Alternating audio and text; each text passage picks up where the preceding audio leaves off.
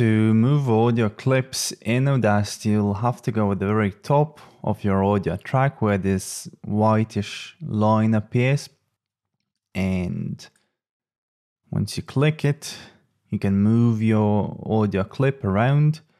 If you want to move just a particular portion of your audio track, then you, you will have to split it. So you're gonna click the right mouse button and choose split clip or use the control I combination.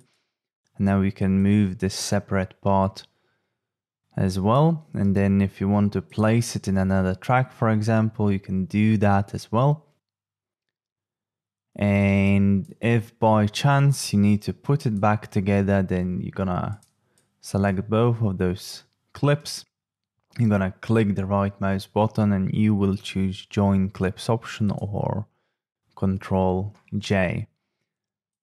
And that's about it.